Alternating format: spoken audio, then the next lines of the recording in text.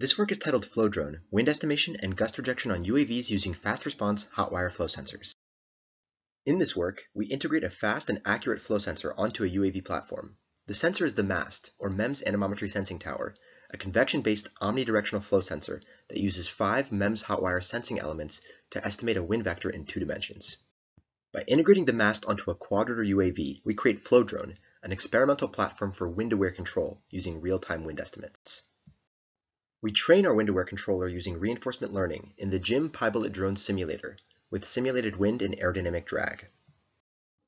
Over 30 flights on the FlowDrone platform, we demonstrate the stronger performance of our wind-aware controller, shown in blue, over two wind-unaware baselines. Here, the drone seeks to maintain a hover position despite a 5 meter per second gust in the positive x direction. Shown below are the raw and filtered wind estimates measured in flight and used by the wind-aware controller. On the right, we show the trajectories of all 30 flights. Wind-aware control reduces error in maintaining a hover position. In the following overlaid video of representative trials, the wind-aware case is the most opaque, followed by the two baselines.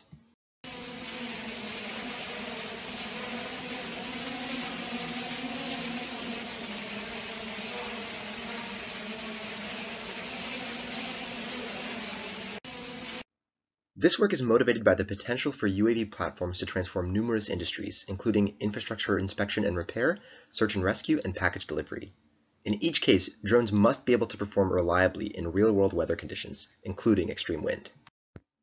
This is no easy task, as demonstrated in this video, where a typical consumer UAV struggles to maintain a position set point during a windy day at the beach. The wind introduces complex spatial and temporal phenomena. As background, modern multi-rotor drones do not directly sense airflow. Instead, the presence of wind is inferred indirectly, for example, using IMU measurements. Conventional sensors, such as pitot tubes, are too slow, insensitive, or bulky to be suitable as an onboard omnidirectional flow sensor.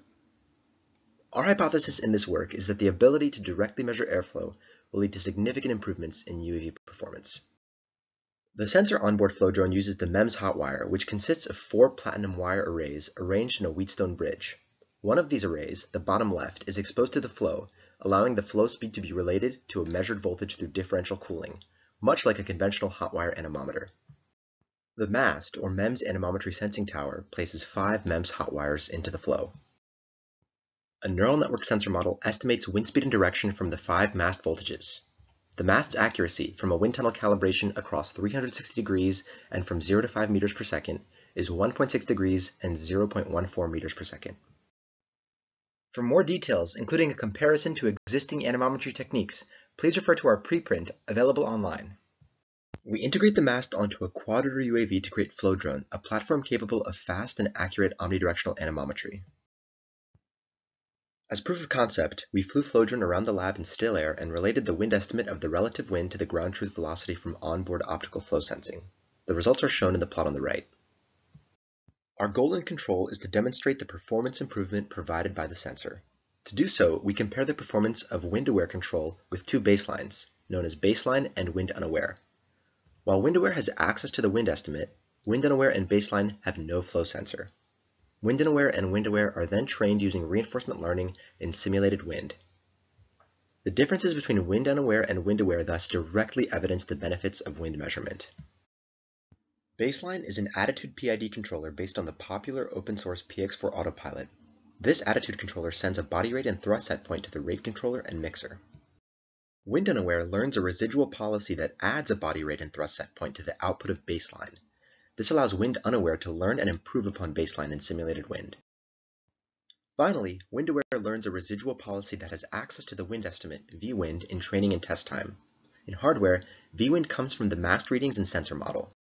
To learn both residual-based controllers, we used the GYM PyBullet drones environment. We added a wind model, which simulated wind based on in-flight measurements, and a drag force model, which simulated both bluff body and induced drag on the vehicle.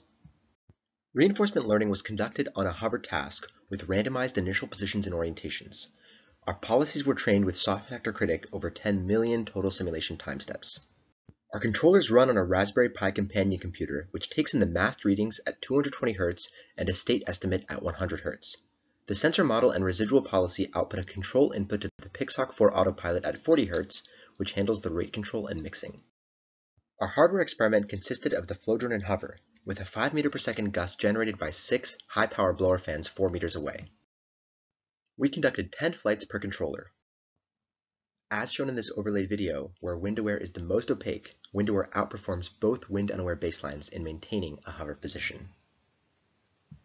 In addition to having the smallest deviation from gust and the smallest variance in hover position, as shown at the beginning, wind-aware also performed the best in terms of max error, mean squared error, and overall range across the trajectory. The Flowdrone platform clearly demonstrates that wind-aware control provides a substantial performance improvement over wind-unaware baselines, and that the mast flow sensor is effective in estimating gusts in flight for wind-aware control. Finally, I would like to acknowledge the efforts of the co-authors on this project, as well as our funding sources, the AFOSR, NSF, and Princeton's Project X. Thank you.